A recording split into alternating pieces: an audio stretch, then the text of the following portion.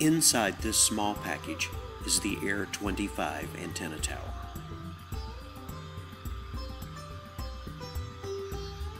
It is a 25 foot antenna tower designed especially for amateur radio.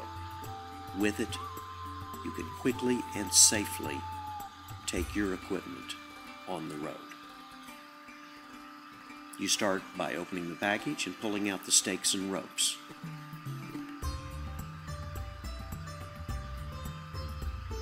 Pull out the tower. Find a level spot to set it on.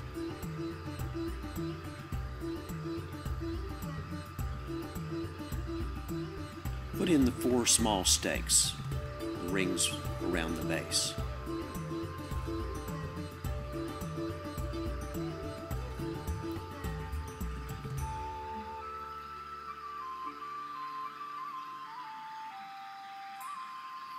Now, we will pull out the top rope and attach it to the small patch on the top, and then pull out the tower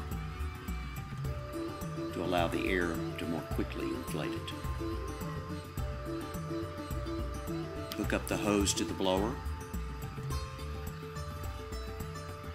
and the nozzle into the Leafield valve. Turn on the blower. And in less than two minutes, your tower will be ready.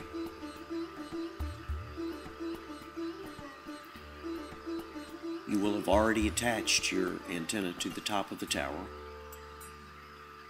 with the coax cable running down the side. This is not shown in this video.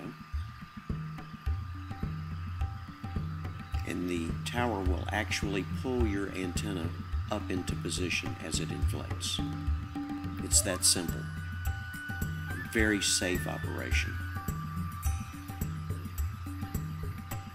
Take your equipment on the road.